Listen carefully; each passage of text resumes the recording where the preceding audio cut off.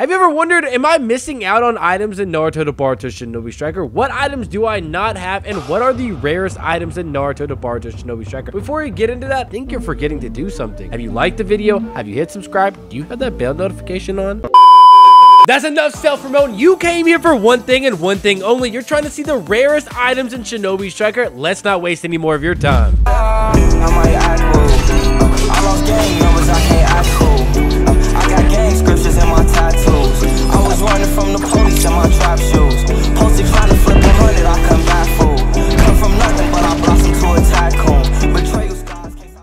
Guys, I will be dropping a try hard video for you guys tomorrow. I know you guys love those. I'm here to tell you right now, we don't care. Let me tell right, let me Hey, more build videos to come, but right now, let's talk about the rarest items in Shinobi Striker. Uh, my pussy hurts. The rarest item in Naruto to Boruto Shinobi Striker has gotta be the chocolate glizzy.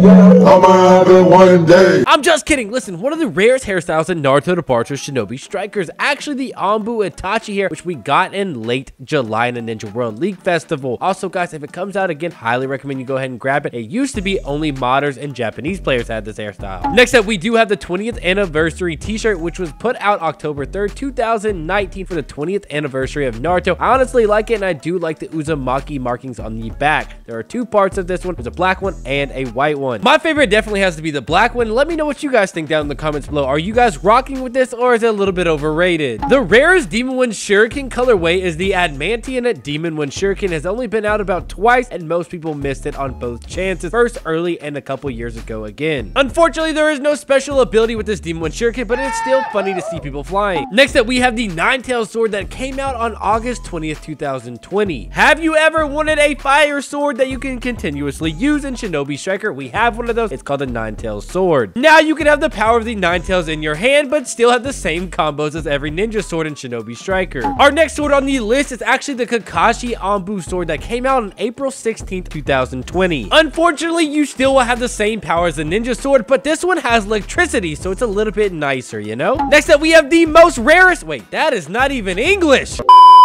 All right, I took a time out, read a book, now I understand English. This is the rarest, or one of the rarest, Shinobi Striker shirts you will ever see. It is actually from 2018 and early December. This is one of the rarest items in Shinobi Striker. It's one of the best Shukaku slash Gaara outfits in all of Shinobi Striker. I really do enjoy it, and I love the details to it. Guys, let me know what you guys think is the rarest item in Shinobi Striker. Comment down below some of your best builds. Do not comment one with Sand Shower. I will not use it. I'll see you in the next one.